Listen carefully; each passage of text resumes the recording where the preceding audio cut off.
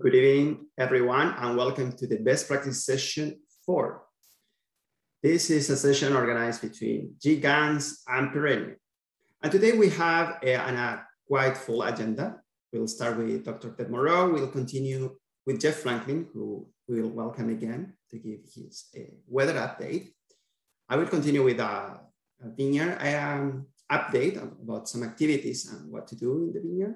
And we'll finish with our typical discussion. Okay, so I would like to welcome Dr. Deb Moreau from AFC Kentville Research Station, and she will be giving a, a short update about the insect development this season in the province and providing some information of uh, caterpillar management.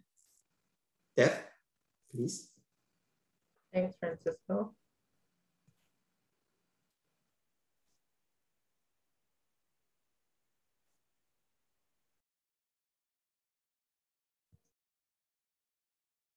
Thumbs up. Everyone can see that? Yes, looks perfect. Okay. Great. Um, thanks, everyone. Uh, thanks for the invite, Francisco. Um, this is going to be a, well, I'm hoping it's a very brief update of what we're seeing this year. I probably should have followed Jeff so I could have leaned on some of the weather data, but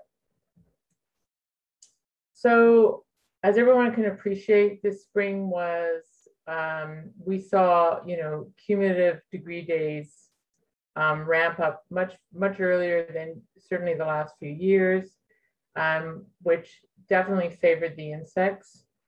Um, so it's, from my perspective as an entomologist, it's nice to see things kind of leveling out a little bit. Um, so what this means for insects largely in the summer is that the the, the more heat, uh, most, most insects are temperature dependent, their development. So the more heat, uh, the faster they can whip through a life cycle, so egg through to adult. And then potentially with some species, the more generations we see in a year. So as you can appreciate, that's problematic. So I, I want to spend a little more time on caterpillars because I think I typically gloss over those. So this is just kind of a clump together um, five insects that when I'm out and about, these are the ones that I'm seeing more often than others. There, there's lots of things happening right now, and I'm sure most of you have seen the odd cicada lately. Um, but these are the ones that I'm probably seeing, um, you know, numbers that I would either expect or, or, or I'm a little bit surprised. So I'm just going to whip through and I'm open to questions at the end. So certainly we're seeing phylloxera, we're seeing lots of galls, and we have approximately 80 of our bucket traps uh, currently sprinkled um, throughout the valley. And we're monitoring the uh, root feeding form. So numbers uh, have been steadily climbing the good news is they're, they seem to be uh, favoring some varieties over others. Those of you who grow Frontenac will know, um, you know, that, that they are quite susceptible to the leaf feeding form. Uh, Marquette seems to host um, good sized populations of the root feeding. So this year we're spending a lot of time looking at what are the impacts and um, hopefully um, as we continue to crunch the numbers, um, later this fall or next spring, we'll have something to be able to show you. And it may possibly at this time, the manage Movento, which is not um, for organic systems. And at this time, there's there's very little out there for, for phylloxera management in organic production except for some of the more cultural controls. We are, we meaning uh, a colleague and I in Ontario are talking about some trials that we're going to hopefully start next year to look at non-chemical alternatives to managing. So I am seeing quite a bit of flea beetle damage to leaves, especially on young vines. This little guy here is the red-headed flea beetle, but I'm also seeing a lot of grape flea beetle. So this is typically something any of the economic thresholds that exist in the northeastern states are typically for when it's much earlier and they're feeding on the woolly buds. Um, and at that time, you would kind of go around, you would sample 10 buds from each of 10 vines, and then you would look to see sort of the percentage um, affected. So I think the threshold out of Michigan might be, I think it's 2% damage. Um, but there really aren't any established thresholds for leaf damage. And mature vines can usually sustain a fair amount of feeding damage. The younger vines, I, I will agree, it's problematic. Um, and it's really going to come down to the degree of the damage you're seeing and whether you want to monitor or manage. There's all kinds of erineum mite out there, but again, as in all years, it's really patchy in its distribution. Uh, I see it in some varieties and not in others. Um, so you'll see in the image here, um, you'll see the sort of blisters or what we, they're really galls. Um, so I, I, think there's still lots of good things that work against this. Some of the predator, predatory mites that we do see in the vineyards in Nova Scotia are in good numbers. So I think you'll get, you know, there is some level of biological control happening. I mean, you can use sulfur in the early seasons to manage this, but I, but I've not seen enough of it to, I think, to be managing. It's, it's a lot of money to manage these with chemicals. Other things probably will, will knock this down when you're spraying for something else. And two things I'm seeing, I mean, we do see earwigs, you know, every year. Um, this year I, I'm seeing more than usual. I don't know if it's the humidity. Um, again, I think I would call an ear, I would think of an earwig more beneficial than anything. It's going to be eating some of the small eggs and larvae of other insects.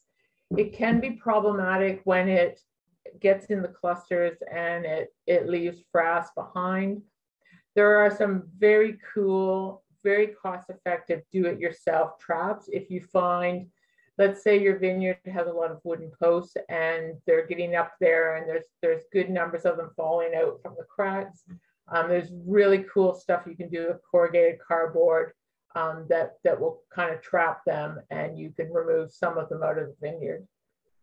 Uh, tarnished plant bug is, it's always cited as a pest in grape and I've really kind of not paid much attention to it. For those of you who grow anything else. Um, it has over 400 hosts that it likes to, to feed on. So it's kind of everywhere.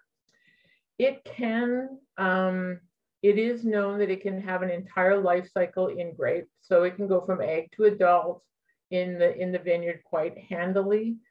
Um, I wouldn't worry so much about the adults. I mean, both the adults and nymphs are sap sucking, but um, you're not going to get feeding on the leaves or anything like that when the nymphs, um, the nymphs can actually attack the pedicels, which, which will impact sort of fruit set. But since we're past that, I think uh, it's just a really good year for tarnish. So if you're seeing a lot of these, um, they're probably moving around on, on other crops that are nearby or adjacent flowers. Most of these pests, um, with the exception of phylloxera, do really well with kind of having patches of wildflowers, um, other things outside of the vineyard that can attract them there.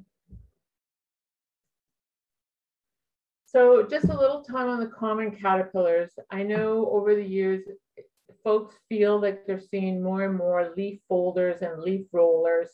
Uh, I've added the sphinx moth, which I'll talk about uh, in a minute. So I've included under the sort of common, just the common headings, um, examples of each. So I know in, in Nova Scotia, we have uh, Desmia funeralis, and we also have the red banded leaf roller. And the, this, this particular one is, I won't say it's rare, but it's far less common than we see the leaf roller. So the red banded leaf roller is a tortricid. Um, it's a common, with the tortricids, which is a group of moths, they're very common leaf rollers toward this particular one, red banded, uh, is a common pest of apple. So it's not surprising that we find a lot of it in our vineyards here, given how much apple is in production. It can be, uh, you know, it, it, it has some look-alike things to grape berry moth, which I'll talk about after. Uh, it's also another tortricid. So you'll see these sort of tight rolling, and then you can see sort of little bits of webbing that they use to kind of secure the roll um, together with red banded, by the time at some point the caterpillar will kind of move in and out and eat and eat and eat, and then it usually comes in here and rolls up the leaf, and this is where it pupates. Red banded can go into the clusters and it can feed superficially on the grapes. Um, so if you're seeing high numbers, uh, it may be something that you, you might want to consider managing. Typically, uh, these three pests do not need management. Overall, and I'm speaking very generally, not vineyard specific, they have really limited economic impact. So, um, and lots of things can influence the year, the variety, all of those things. The good news with, with leaf rollers and leaf folders, there are products for both systems. So if you're an organic grower, um, there are products that can be used for this. They're certainly don't have the bang of a conventional product, um, but they, they have some level of efficacy. I want to draw a little bit of attention to the, we call them commonly the sphinx moth. Um, these are big. These can be, you know, two, three inches. Okay, I should go into metric, but I can't, not on the, on the fly. So these are very large caterpillars. Um, they're voracious eaters. Typically, um, the adults are sort of coming in off hardwoods on the adjacent to the vineyard, um, but then the caterpillars are, the vineyard is really a convenient feeding source for the kids. And they can eat, they can defoliate vines very quickly. I would not recommend spraying for them because they're really patchy in terms of where they are in the vineyard. So you'd be putting a lot of product um, in the block and not necessarily coming into contact with these. And some of the new, many of the old contact products aren't even available now. And so a lot of the newer products, you, the caterpillar actually has to ingest it.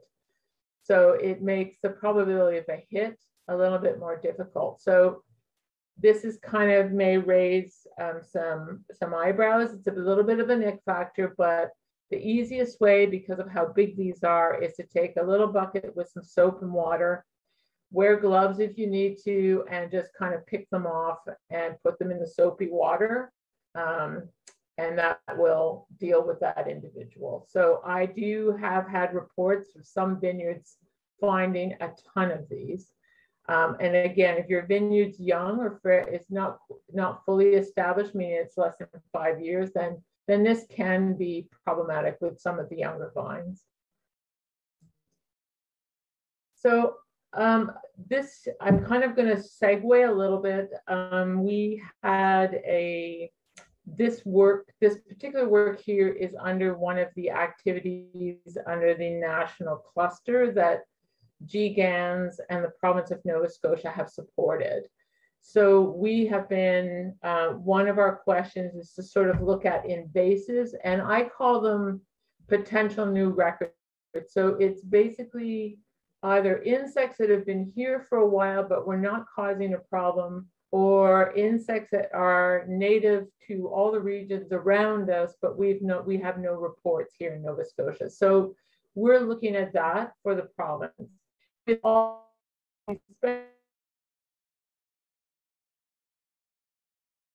monitoring is key. And so getting a handle on whether these pests are even in the province is our first priority. So spotted wing, the four that are on our list are spotted wing Drosophila. This is a small, a lot of people call it a vinegar fly. So the flies that, you know, at this time of year, um, if you eat a banana and the banana peel sits on your kitchen counter, it's a relative of this particular fly that will will kind of pick up on the yeast and the sort of overripening um, odors that are coming off the banana peel and be tracted. So spotted wing Drosophila or, or Drosophila suzukii is a very close relative of the typical fly that goes near your banana peels or your compost.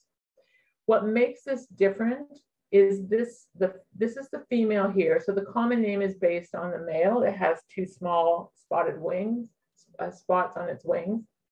The female's ovipositor. So that's the structure on the insect that allows her, in this particular species, it allows her to land on the grape, slice it open. So her ovipositor has an uh, kind of a serrated edge like you would see on a steak knife. It allows her to land, kind of make a little slice or slit in the grape, and then she inserts her egg. So the eggs develop in the fruit itself and they will cause, and often the fruit doesn't leave the cluster of the vine. It just kind of goes soft as the maggots within the fruit kind of feed on the flesh. Um, in 2016, we did some work on this past in grape, um, looking at a white and a red variety. And we did not see, um, certainly wine grape was very low on the list in terms of preference for this fly. So thin skinned fruits like raspberries and blackberries, and then um, kind of sweeter berries, strawberries, things like that, they were all up at the top. And then as you kind of went down, the list, grapes were closer to the bottom. There's been some reports out of Italy that they've seen some problems with this fly in some of the very thin skinned um, grapes there, but we've not seen it here. Nonetheless, we have been monitoring over the years in vineyards and we do find spotted wing in there all the time. We've not seen appreciable damage to the fruit it can be problematic in September. So this is kind of a comes along lately. So if you're going to monitor, I would I would say don't start don't waste your time until till probably mid-August. Um, that's usually when we start seeing you know sustained catches, and then numbers will ramp up quite quickly. It's the what's critical for you as producers is the timing of high population, so high numbers of this fly and the fruit being ripe because this, this fly is attracted to the ripe fruit. There's an easy trap. It's a vinegar baited trap. Uh, it's really just a red solo cup, or some of you may recognize is a red beer cup. Um, we have tons, and I'm happy to help if you're if you're concerned. You're starting to see softening grapes. Uh, let me know, and we can certainly do something um, in your vineyard so yeah, I, I'm keeping an eye out for this one. If you have reasons to be concerned, just again, just let me know. The multicolored Asian lady beetle, um, that's been here for quite some time. And again, the big problem with this, um, it's a standard, you know, it's related to the other uh, ladybugs. So it's a, a great predator of things we don't want, like mealybug and aphids and aphid eggs. The problem with this one is its ability to sort of ramp up in numbers. And so for, for ladybugs, anyone who lives in an old home um, may know that in the winter, ladybugs like to come together and sort of congregate in large numbers. And so when the clusters are good and ripe, often the sugars are high and the clusters are nice and tight. These guys can get in there and they can cause quite a problem. Um, and so the chemical that they, that they emit causes the ladybug, what they call the ladybug taint in wine. Again, we've been monitoring this closely, I'd say for four years, and in the last year more earnestly, uh, connected with some work that Wendy McFadden Smith is doing out of Ontario. And although we see this, we don't see it in it. I've had no reports of it being a problem come harvest. So um, Japanese beetle this is one, um, it is more of an indirect, so it's going to impact uh, the leaves, not the, not the fruit itself. It is a relative of June bugs, so the grubs are in the turf or the soil. Um, and then the adults come out. Typically when they come out, they come out all at once. They often cluster together. So where you see one feeding, you will almost always see others. Um, I would start monitoring. I mean, you're, you're at Fruit Set now. We, um, in my travels a week ago, I want to say, um, I did see these. I kind of checked at the source, and I did see them in, um, in on the South Shore. So this is um, this is a pest that is thought to have, I think I've told the story many times, but it's thought to come have come into Canada through the Yarmouth Ferry. It's a great hitchhiker. Um, and it just kind of stayed put around Liverpool area and there's kind of a, a very established breeding population there and it hasn't moved forever until about five years ago and it started to slowly move. And so now we have found it up in the Annapolis Valley and we see it spreading east from Liverpool. Um, I have seen it as far as Rose Bay, but I know that there are reports that they've found it in Halifax. So it feeds on many, many hosts, uh, anything in the Rosaceae family. So, um, so lots of hosts. But I'm asking folks to sort of pay attention to this one. When they get into your vineyard, um, because of numbers, uh, they can do quite a bit of damage to foliage, especially again if you have a new, new planting. And the one that I'm most concerned with is the grape berry moth. Um, there are a number of generations. We're not, because we don't have a record for this pest in Nova Scotia still. I have a question mark here. This was an image that was supplied to me last year by a local producer. And um, unfortunately, by the time we, it was just by the time we picked it up, the we weren't able to actually ID the sample. And so um, caterpillars, we would likely take it back to the lab and do something, um, use molecular tools to, to get at the root of this. And as you know, last year, uh, there were some limitations. So, um, so I have a question mark, but I'm very, we, we have all the right conditions. Um, the only thing we don't have, the grape berry moth is typically linked quite tightly with is wild grape. Um, wild grape was not known to be native to Nova Scotia. I know folks have sort of brought some some in, but so we we may still be lucky, but um, but something to definitely uh, keep your eye on. And so this is a heads up. Uh, I've sent something to Vanessa to distribute to the grape growers. We're kind of going to focus on these two. So I'm reaching out to all of you for help. If you uh, see these or have clusters with webbing, anything like that. There'll be a lot more details in the letter. Please reach out to me and, um, and I would be happy to pay a visit and collect and take these off your hands. And before I exit, I just kind of have one little um, public health message. While we're speaking about uh, climate change and sort of changes in insects, this was a particularly big year in terms of the number of ticks that people were either bringing to me or writing to me about and showing me images. And also the uh, there seemed to be an increase from last year in the number of folks who've been confirmed diagnosed with um, with Lyme. So, um, and and some of these are coming from from the valley. So I'm just kind of my uh, if I take my hat off as an entomologist and Deb Moreau friend, um, you know, please, please continue to be diligent with this. Um, numbers are high this year. I suspect the winter was quite kind to some of the hosts, so I don't see this problem going away anytime soon. And that's it for me. Um, really big, huge shout out for continued support from the grape growers. I mean, really, you know, this really isn't possible without the work that you're doing. And of course, CGCN is very involved in the work we do, including the cluster work. And I probably should have meant, I mean, I work very closely with Francisco and other colleagues in Perennia, but some of the phylloxera work we're doing is, has, he has graciously um, agreed to let me dovetail into some of his terroir work. So um, thank you. Thank you uh, very much, uh, for your nice presentation. It's quite interesting. If somebody has any question, please on the bottom of your screen, you will have the Q&A uh, feature. So we have one question there. It's from Sharon saying, thank you, Deb. Can you comment a bit more on the foliar versus root phylloxera you mentioned, and on the impact of different types of the overall health of vines, particularly Marquette and Petit Pearl?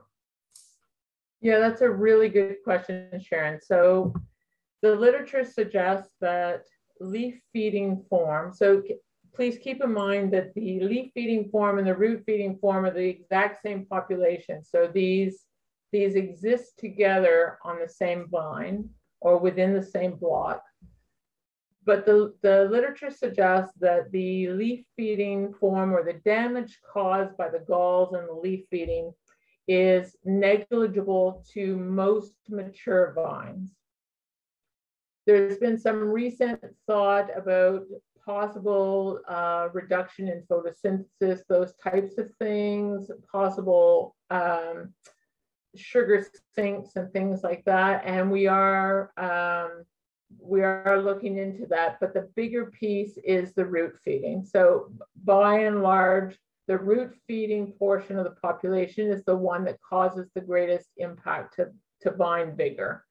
And depending on the variety, um, it can be quite severe. So um, once populations get in there, there are certain varieties that are um, so susceptible that it's just a matter of years before the vines succumb to the to the pressure of the feeding or the root damage. So the damage that they do to the roots is both it's through their feeding, which causes little sort of tumors or galls, but it also is um, secondary. It allows for openings of other things, so plant parasitic nematodes, other other pathogens.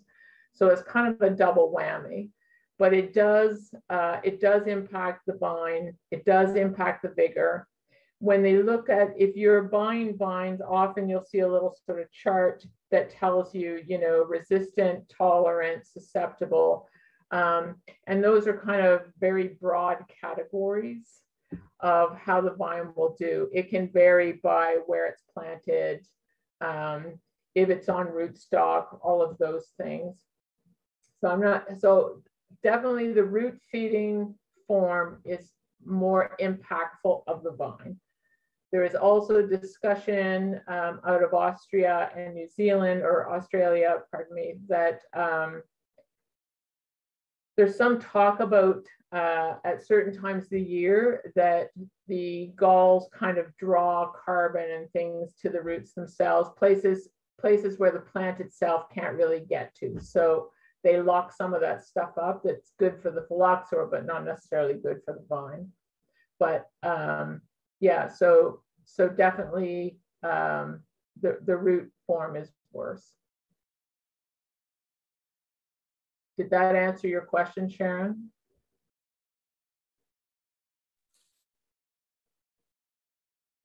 I'm sure we will see an answer quite soon. So uh, Sharon, please reach out to me and it might be a better conversation for you and I standing in the vineyard.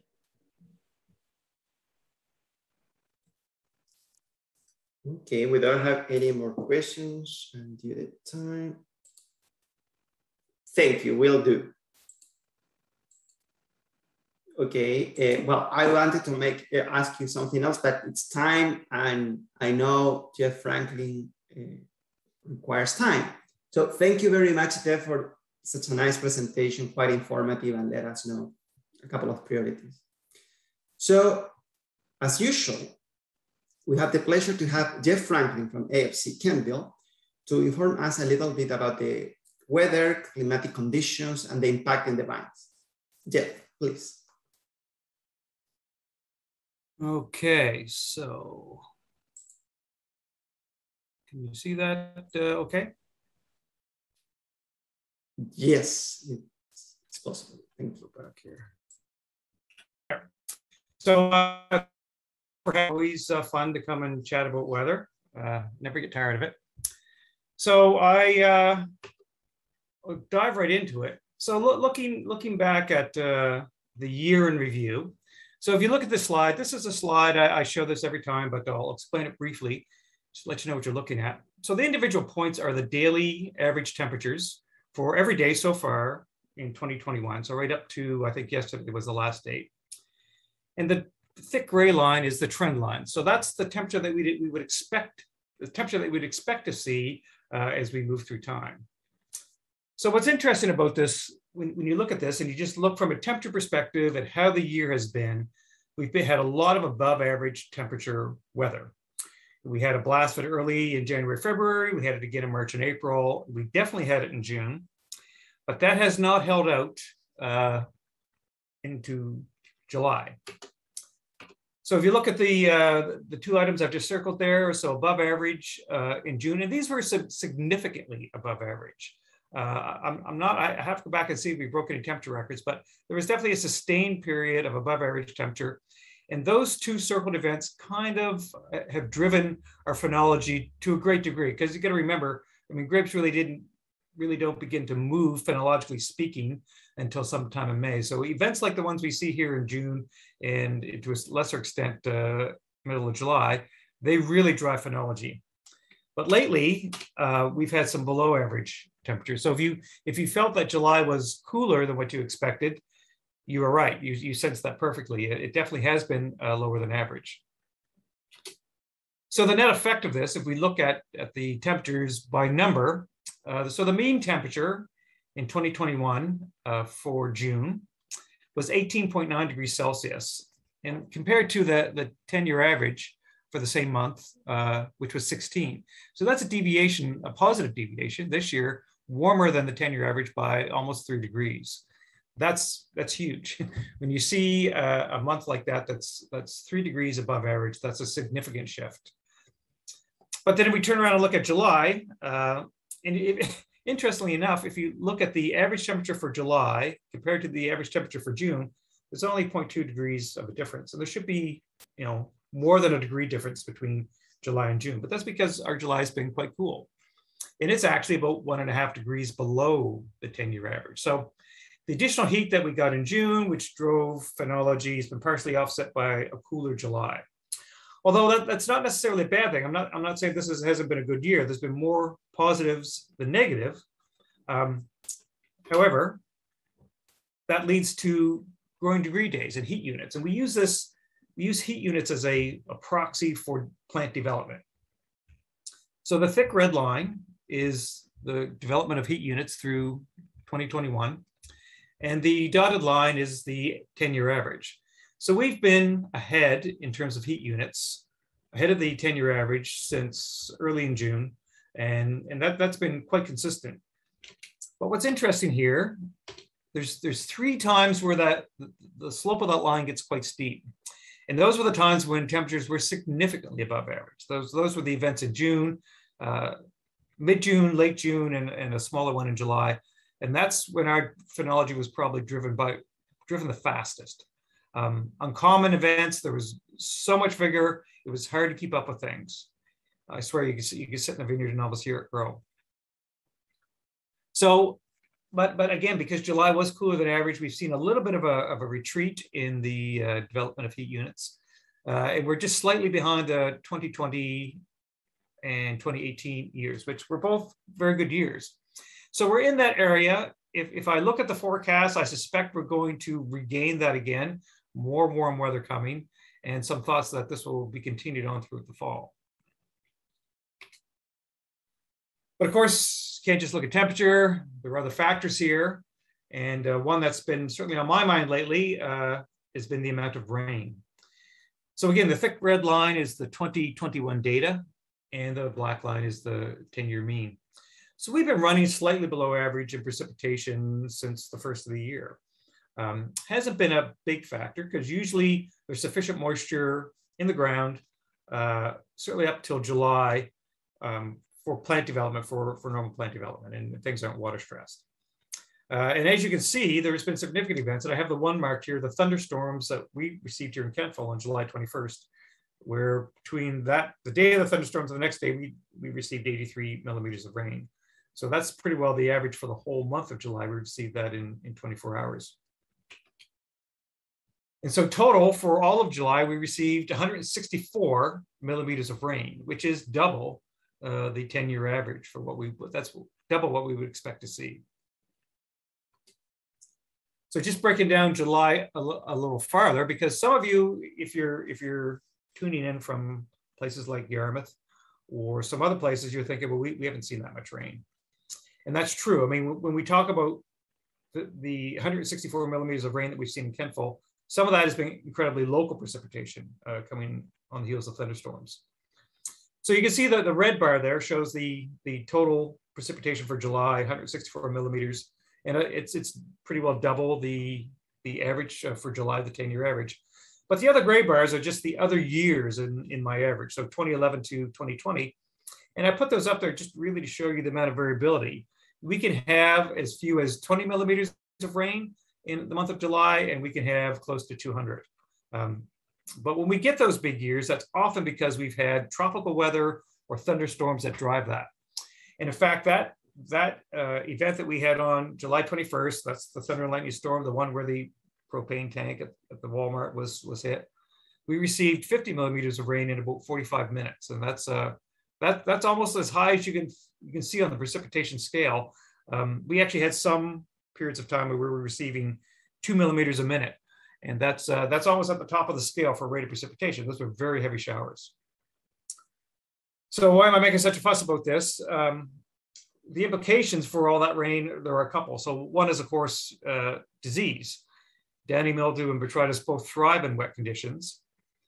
And although powdery mildew, not so much, it's not so much that it thrives in wet conditions, but the fungicides that we apply to plants to protect for powdery mildew are of course washed off by rain and periods of heavy rain are especially detrimental to that. Of course, the other issue is that uh, soil moisture and heat equals vigor. We definitely have sufficient soil moisture right now. Um, so yeah, we are, we're above average here, but if you, looking at the distribution of that precipitation through the province, Kentville definitely wins the prize at 164 millimeters. And you can kind of see if you look at this, there's a swath of, of, of, of precipitation that sort of runs through the center of the province from west to east. Uh, so Kentville, Greenwood, Halifax, and then up through Sydney, where we've had a lot of um, seasonally active weather. But of course, south of that line, or maybe around Caribou Point, uh, they've been less impacted like from that. But there have been this, this band of precipitation that's moved through the center of the province, coming on the heels of storms that have given us a lot, a lot of rain. So what has that meant for soil temperatures? Um, I actually had the, I guess call it the privilege of digging some 16, 20 inch holes the other day. And I can guarantee you that the soil is, the profile of the moisture in the soil is right down through to 20, 20, um, uh, 16 inches. So what would that be? 30, 40, you know, 40, 50 centimeters. And so this is uh, this, this uh, plot of soil temperatures. This is temperatures measured at 35 centimeters, so about a foot down on the ground. And those temperatures for, again, 2021 is the red line, have stayed fairly consistently high. But if you look at the, uh, the circled areas, there have been significant drops. And of course, those have come because of the penetration of rain down through the soil levels, penetrating all the way down to 35 centimeters. So that is an indication that, that the rains aren't just hitting and running off. We're actually getting some penetration into the soil. And that's a good thing for most crops. Um, I'll let others speak to whether or not it's an issue for grapes. Um, it certainly has been good for anybody who planted this year. Uh, those plants are getting sufficient moisture and certainly no, no signs of water stress anywhere.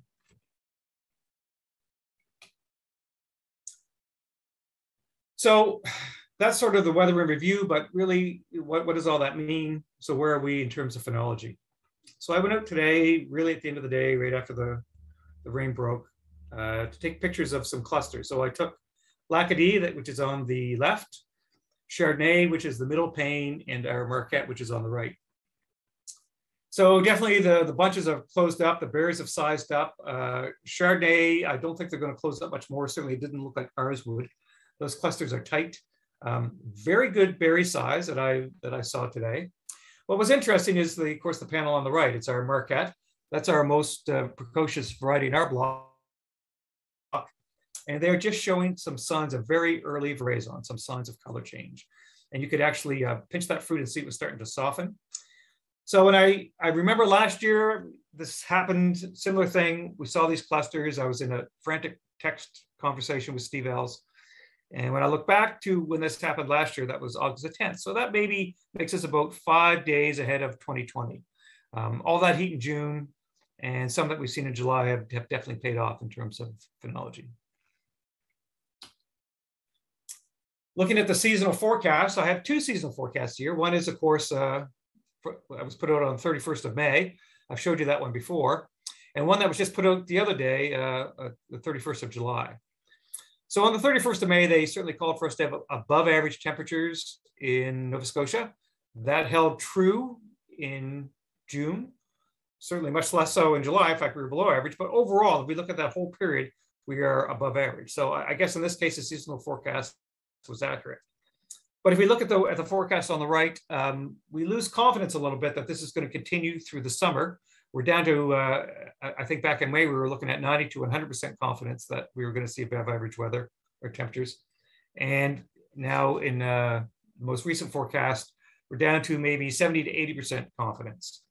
But nonetheless, uh, it, it, would appear that we are not going to have a below average growing season. This the forecast from the 31st of July goes right through to the end of October. It would appear that uh, as much as you can put faith in the forecast, that we are going to see some, some warmer temperatures. And that's all I have. Pause to see if there are any questions here. Thank you very much, uh, Jeff, for such a nice uh, presentation and on time. I have to tell you. I will wait for a little bit for, for if, if we receive any question, please, sure. uh, you can see the Q&A feature on the bottom of the screen if you have any question to, to Jeff.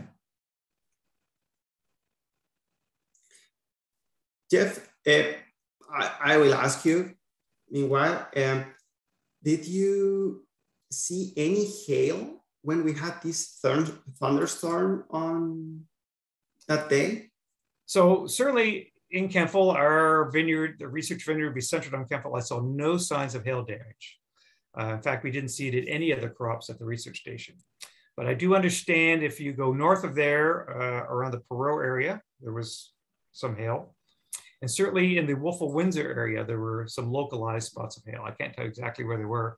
Um, uh, I just know from uh, different reports of people seeing some hail strikes in those areas.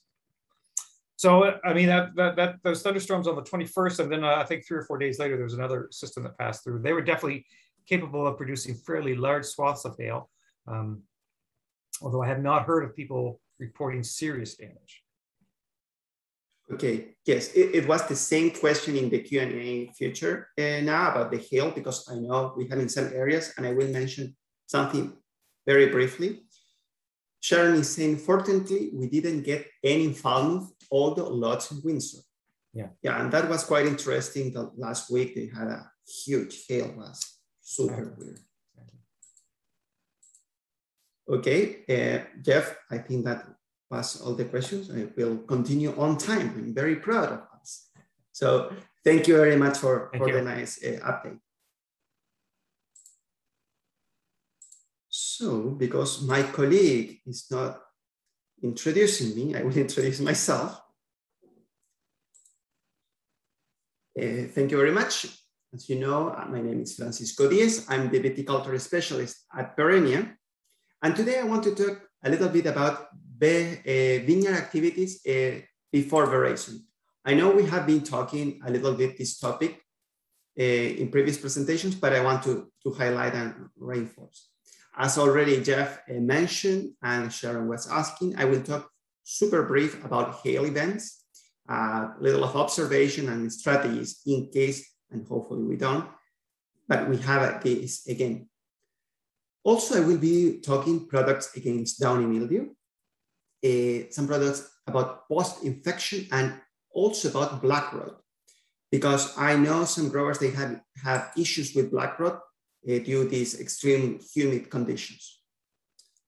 And also locally systemic and group M and suppression ones. The third point will be attention to botrytis, important times and which products we can get. Um, before going to our discussion at the end, I will talk briefly about before veraison. So canopy management, which is a very important tool, and uh, tissue sampling. So as uh, it was already mentioned, we had a lot of rain through July and especially uh, the last two weeks. And we had hail events on Thursday, July 22, and on Tuesday, July 27. But it was very precise in very specific locations like parts of Port Williams, Wolfville, Grand Pre, um, and Windsor. And again, depending the areas, uh, you have more or less uh, hail, which was uh, different in duration and intensity. Okay, so as you can see in this picture, here we have a bunch of, I think was Chardonnay, which had some impact of, of hail. And you can see how the berries, they were open and split. So, well, this is also combined, maybe they had some calcium deficiency. But anyway, it was affected by hail and they had these open berries. So important, in case of having damage with open berries, pay attention to botrytis.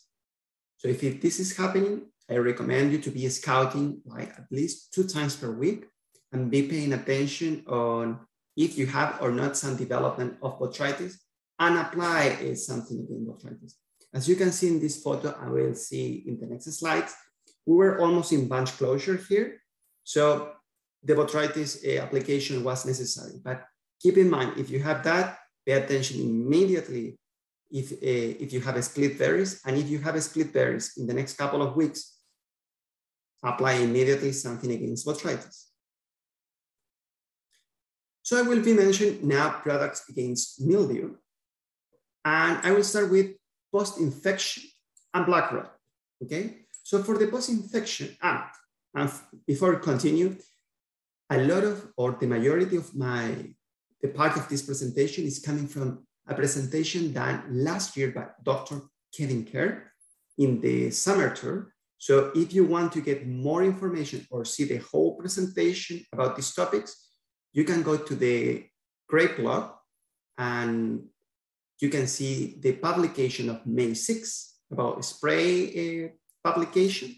And there you will see the link uh, to, to watch the, the whole presentation. But in this case, I will talk about post-infection and blood rot and these are products from group 33, which are Phostrol, Rampart, and Aliette. These are pre and post-infection activity, and they are usually used at the beginning of the season. But if you haven't used them yet, these are very good options. So five to seven days interval under high pressure. And this high pressure, I mean, or the plants are growing too fast, that's why it's five days. So you have to cover and continue protecting the, the plant and the areas. Or if you have too much rain, as was mentioned in uh, Jeff before.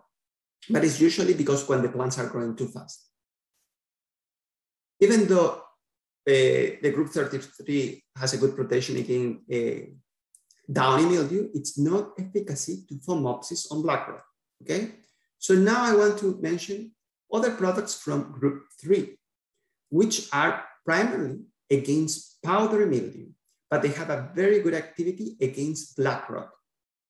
Okay, so keep in mind if you need something against powdery and downy mildew, but I, you are also having black rot, these products are quite uh, good. Nova, Ceiba, Fullback, and Mettle. But pay attention to the REIs because you require 12 hours for Seva, seven days to Nova and Fullback, and 15 days uh, for Mettle. Some locally uh, systemic products. Here we have different groups, Torrent, group 21, Pristine, which is 7 plus 11, Phostrol, Rampart, Confine Extra, and Aliette, they are from group 33, Revus, Forum, 40, and Zampro, 40 plus 45 okay? Please remember I'm highlighting all the time the groups because it's always to be rotating groups and to don't have two applications in a row with the same product, okay? So Torrent and Revus and Forum, which are different groups, 21 and 40, they have an excellent forward protection and some post-infection, okay, against mildew. Meanwhile, from the group 33, you have good forward protection and better post-infection and antisporulation. This is something very good to keep in mind because you have options in case that you have an infection of downy mildew, especially in these conditions with high precipitation and warm temperatures, that you have tools. But attention, no more than two applications to avoid resistance. And with this, I mean, for example, I wouldn't do two applications of torrent in a row or three applications of torrent in a row. You can be making a torrent, Revus, and phosphor. You can be changing the products. Don't overuse the same group, please. I will be repeating this all the time through my presentation. We have other group, it's the group M or the suppression. And here we have the typical, all the coppers, the 53W, the spray, oxychloride, Cueva, and Kocide.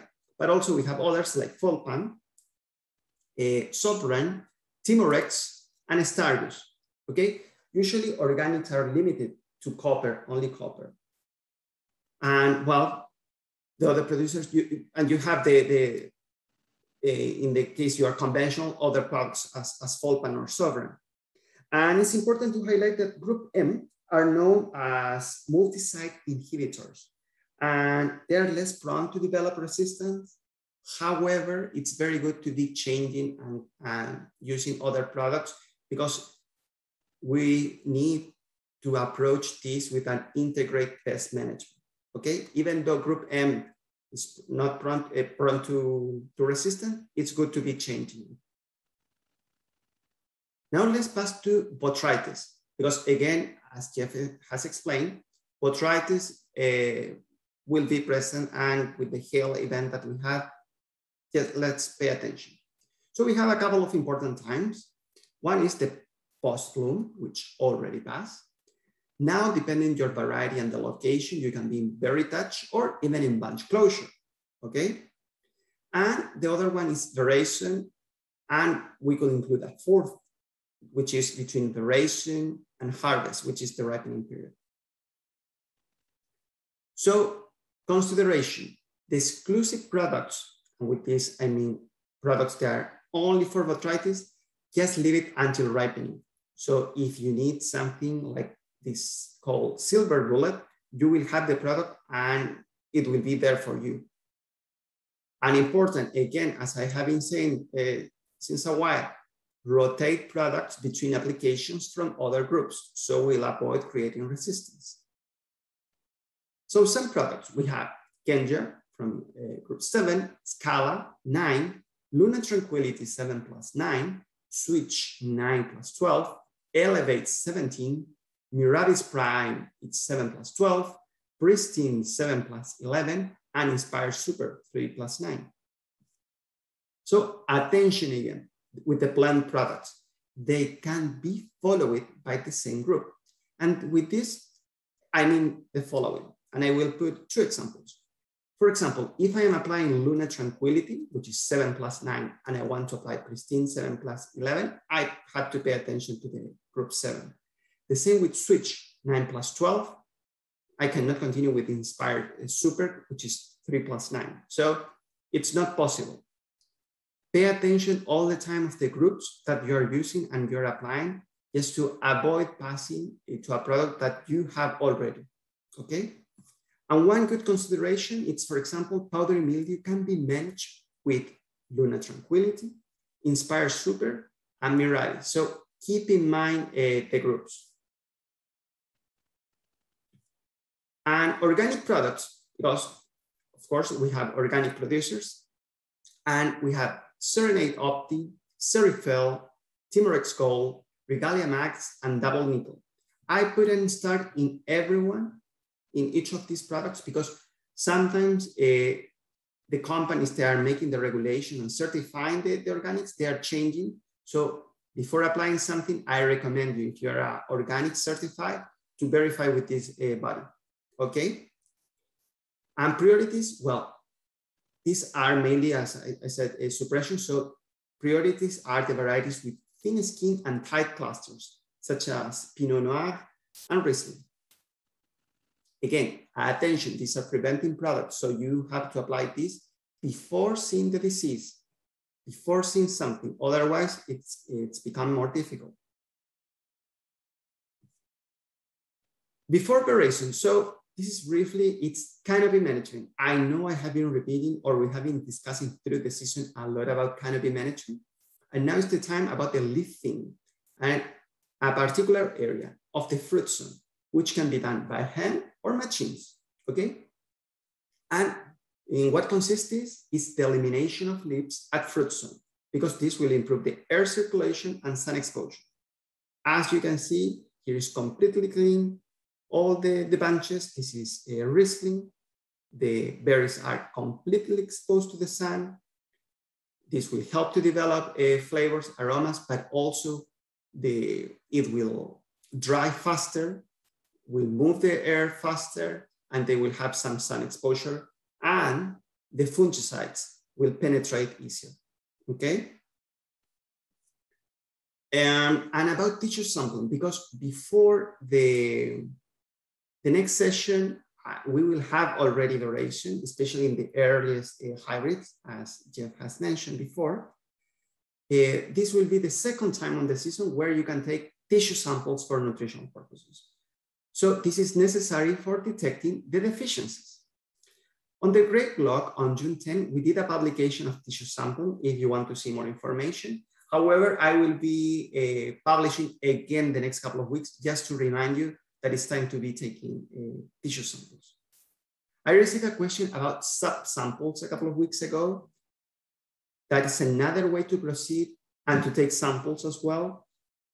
Uh, it doesn't exist as much literature as with tissue sampling, but anyway, the values and the results are quite accurate. So that is another option. I really like, with more information, it's better to take decisions. So uh, if you want to proceed with a subsample, a tissue sample, is it can be done perfectly. So now, as every session, I would like to invite uh, Marcel the manager of Luckett Vineyards, and Steve Ells, the owner of Ellslea Farm, to discuss a little bit more about uh, our, all, their observations in, in the vineyard. Marcel, Steve, good evening. Good evening. Good evening, Francisco. Sorry, sorry for not introducing you. I thought there was another question there, so I, I kind of missed the boat on that one. Sorry. No worries. We, we were able to fix and navigate through that uh, moment. So I, I, already mentioned a couple of things, but I would really like to hear your opinion and your observations and how you're dealing because uh, it's very easy to talk, but when you have to work in the vineyard, it's, it's a different story. So I would like to start talking about the leafing how you're proceeding with this and which are your priorities and your strategies. So Marcel, you said good evening first. So I will start with you. Yeah, so leaf thinning is progressing uh, just as timely as every year. So we we're mostly done with the uh, uh, with the hand thinning in some of the varieties that we want to have a more open fruit zone and uh, we're uh, lagging a little behind with the mechanical thinning in some of the hybrids. Um, uh, the wetness out there doesn't help either. So hopefully it'll dry up soon and then we'll get back at it again. And Steve, how is your case? Good. So we're a slightly different strategy. I think the end result is pretty much the same. We tend to do uh, the hybrids first with the machine deleafer. So that's all the hybrids have been gone through uh, with the machine. Then we do a very light deleafing in some of the vinifera.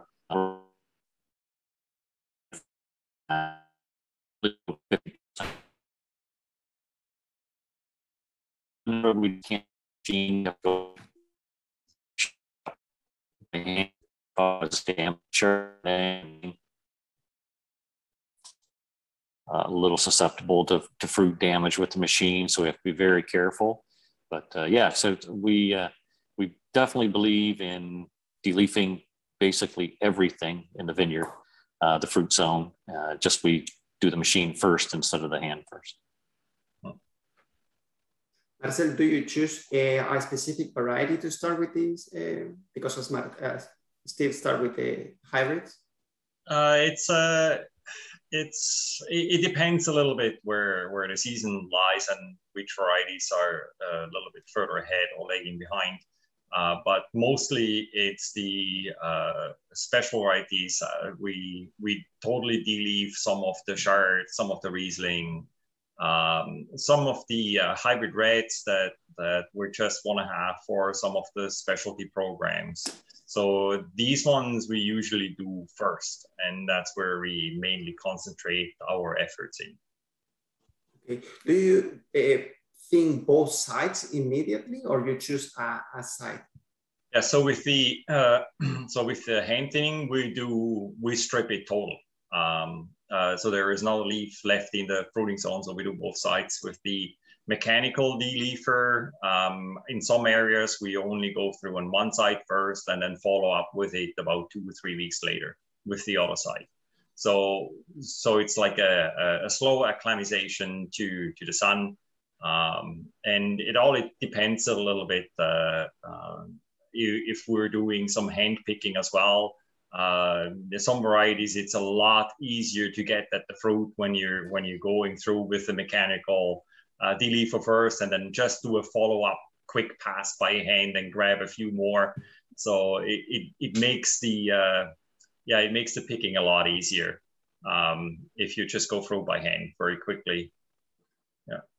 And you, Steve, do you decide a, a side before than other? Did you distinguish between varieties, how to proceed? Uh, yeah, definitely. It's it's varietal. The other thing that enters in there is reentry periods. So sometimes we have to kind of consider what varieties we're hitting with reentry periods of some of the products we're using. So uh, that can make us skip around a little bit just on the spray schedule. Um, but the other thing is very similar. Uh, yeah, I, I, would I would say with Marcel's comment about the picking uh, shout out to L'Acadie Blanc. I mean, it is tough to pick those if you don't de-leaf. Um, and one thing we always talk about is you can de-leaf it uh, earlier in the season and get the benefits on the fruit, or you can de-leaf it while you're picking to find the clusters. So you might as well de-leaf it early in the season and get the benefits on the fruit. So yeah, definitely. I think it helps a lot with the efficiency of picking and, and it's also really good for the fruit. So um, de-leafing is super important to us. We, we de-leaf, the only two varieties we don't de-leaf are the high wire ones that are trained up high, the muscat and Petite Pearl, everything in VSP we de-leaf. Okay, thank you. Yeah, it's uh, a, it's a good and both sides. I, I, guess I didn't both sides, both sides and everything. Yeah. yeah. Okay, perfect. Thank you. So, okay, we already de-leafed the plants, but anyway, we continue with issues. And already was mentioned by, by Jeff, and I also reinforced about the downy mildew. So how are you dealing with the downy mildew applications? Steve, can you, can you tell us a little bit about that? Uh, yep. So yet again, I'll just it's but uh, for Downy, you got to keep your man your um, scope scope. Keep an eye on those oil spots. See how much you have out there. Uh, I think we've all got a spot or two in the vineyard now. I don't think any of us are clean anymore. This year has been just a perfect storm with all the rain and the heat and the humidity. So uh, it's pretty tough. So we're definitely watching our our times for our spray. Um, you can't stretch the sprays out at all this year. You have to be very timely with them. Um, so yeah, and, and, we're blended. So we, we're using some locally systemic uh, conventional products, uh, but then we're mixing them in, especially on the vinifera with some organic cover-up products. Uh, but the timing is absolutely critical and scouting is critical. Okay. In your case, Marcel, which is your, your approach to this? Uh, well, I very much agree with with Steve on this. Uh, I mean, there is there is daily daily walks now in the vineyard, uh, looking for those oily spots, right, and and trying to calculate out the the right window on when to out there. Do you have enough time to cover it, and if not, what comes first? Uh, so it's it's it's pretty much a, a, a run right now. Um, we should have bought stocks this year for for the chemical companies. it's just uh, yeah, it's just uh, it's crazy what we're putting out. Um, so, but we're we're we're doing the same strategy. We have some local systemic uh, products and mix them together uh, just with some other DM groups, and uh, so it's it's just trying to stay covered. That's that's the main thing. And Marcel, do you have a different strategy for for the vinifera ones and for the hybrids? Oh, absolutely, yeah. Ah, okay. Yeah, the, the, the vinifera definitely get uh, the more attention. Um, uh, and with the hybrids, I have no problem if uh, it, it, this year we're, we're, we're really good in the beginning. Um, and uh, so we skipped, uh, you know, one here or there in the hybrids uh, just because we, we did have the, the, the right weather for it. Um, but uh, now with all this humidity and rain, I think we're just going to go and have everything on the same schedule. Okay. okay. Maybe not and the same products, but uh, definitely the same schedule. Uh, exactly. Yes. Maybe you are not using the same products, but you have a kind of similar yeah. strategy. Yeah. And, and, and Steve, okay, you already explained that you, you are approaching different, uh, the vinifera and the hybrids. So which uh, hybrids let you breathe or be more relaxed? so I find L'Acadie pretty bulletproof. We definitely we don't spray it very much after berry set. I find it's it's usually if you get it through to then it's it's pretty safe, but definitely scout it loss and when we see those oil spots, we'll get in there and cover it up. But uh, we let it go pretty long on the interval. Um, some of the other ones, I mean, uh, uh, muscats pretty good. It, it, we keep an eye on that more for powdery than for downy. Um, so yeah, it's definitely varietal. Uh, the vinifera, the vinifera all gets the full treatment. It's you can't blink an eye on the vinifera. Like it, it definitely needs a, and Chardonnay probably being the one that gets the most attention. We have a lot of Chardonnay, so I guess it naturally gets the, the most attention. But um, I find the even the Pinot Meunier and the, and the Pinot Noir aren't quite as susceptible to downy as Chard is. But, but yeah, very varietal. But the hybrids, yeah, they definitely get uh, a little less spray time this time of year. In your case, Marcel, do you have any particular hybrid that allows you to be much more relaxed so you can take other priorities? Uh, yeah, some of the uh, actually some of um, but definitely the L'Acadie, uh, the Osceola, Osceola Muscat is also uh, one that that I really like because it doesn't take much attention, just like the uh, just like the L'Acadie. Um, so yeah, but the but yes, mainly main thing vinifera. Uh, there's just there's just no way around. Okay, perfect. Yeah, so I'm, I'm glad to hear the agreement that you have seen a downing in mildew here and there. It's impossible to don't see it, especially with these conditions. And that hybrids allows you to be much more relaxed, especially in Academy. So then you cannot be everywhere and you have to prioritize vinifera for sure.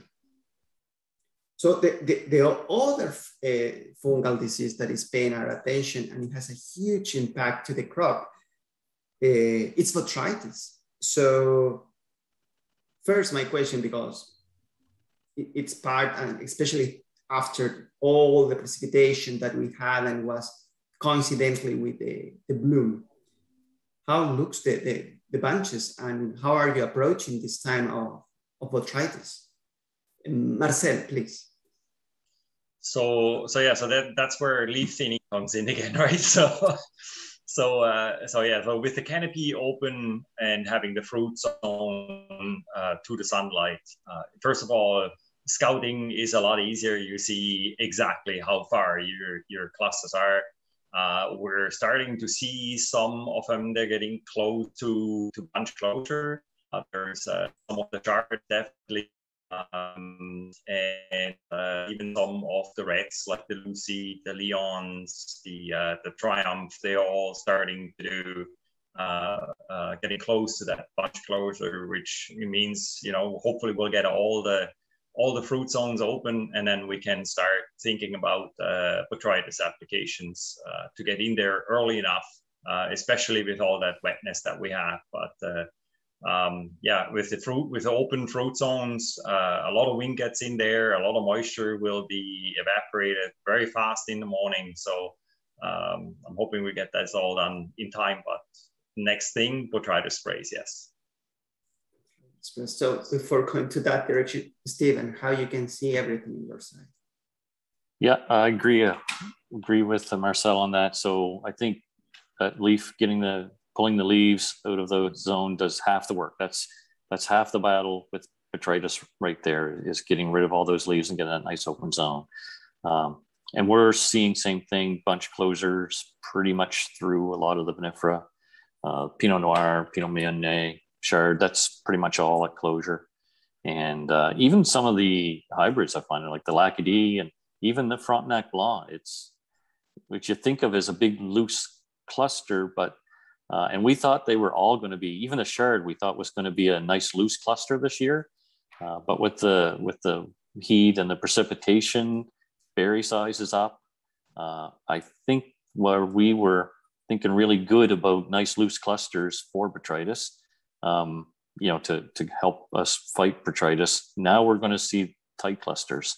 Um, big berry size is probably already average or above average, and we've got a month and a half to go. So, um, very much the same. Pull the leaves, but yeah, we're seeing tighter clusters than we thought, which kind of has me a little worried. So, uh, we'll definitely get in there with uh, specific botrytis sprays before too long.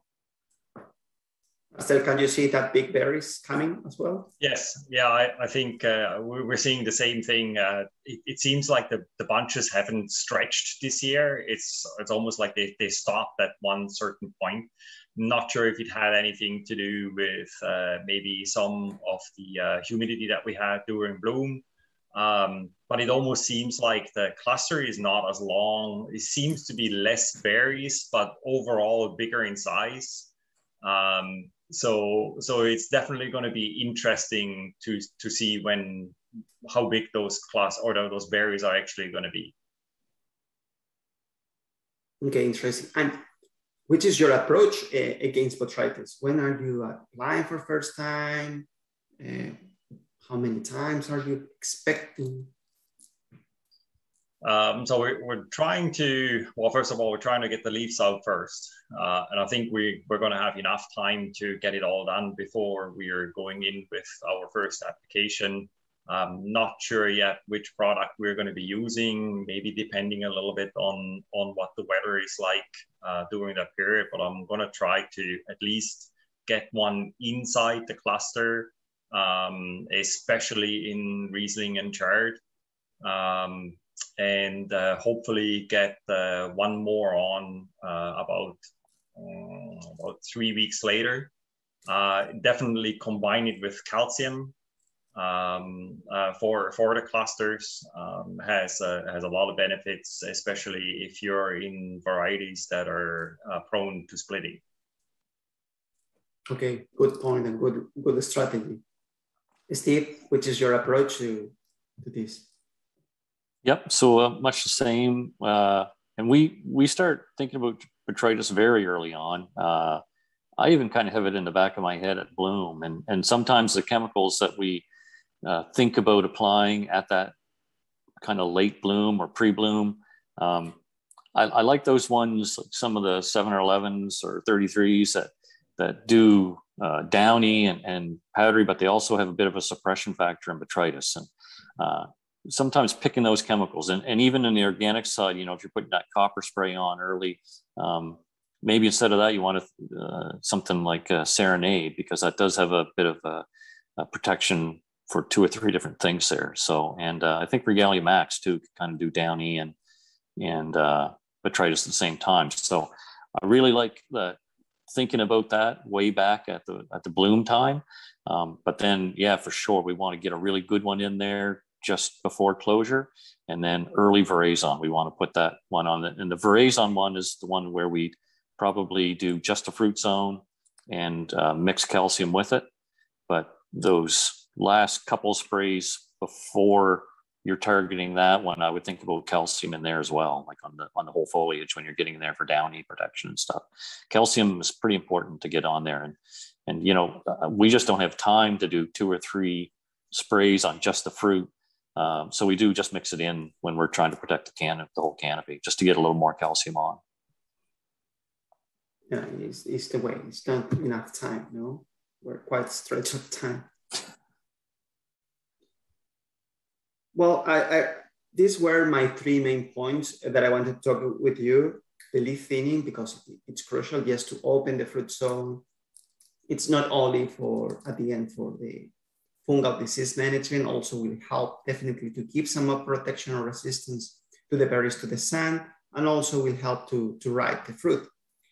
Downy mildew, because with these conditions, uh, we are in risk, we have to be honest. And botrytis, because it's always something uh, that can appear and we don't take the preventive measurements, uh, it, it, can be difficult. So that was uh, all from me, uh, Marcel and Steve. Thank you very much for, for your collaboration and discussion. Thank you for having me. Yeah, always a pleasure. Okay, so I will be closing the, the session.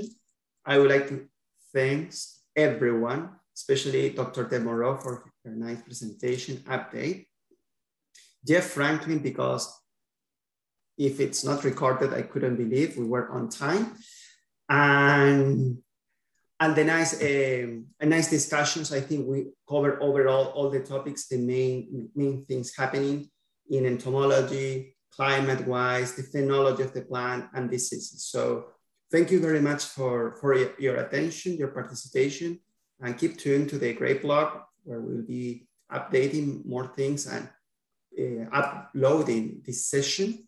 And for the next best practice session, which I suppose will be at the end of August, uh, beginning of September. Okay, so thank you very much. And thanks to Perennia for doing this. Thanks, Steve.